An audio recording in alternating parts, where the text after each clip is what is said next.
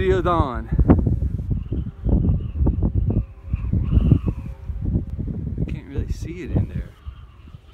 Uh, I kind of just hold it up to uh, where I think it's in the camera. I don't even look at it. Yeah, some parts I can see it, other parts I can't really see. That's really smooth. Yeah. I'm getting some of it in there.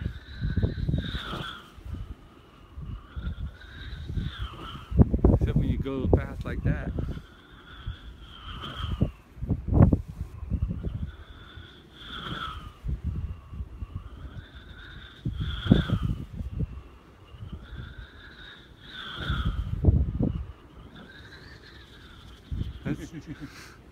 That's, his gyro Bee.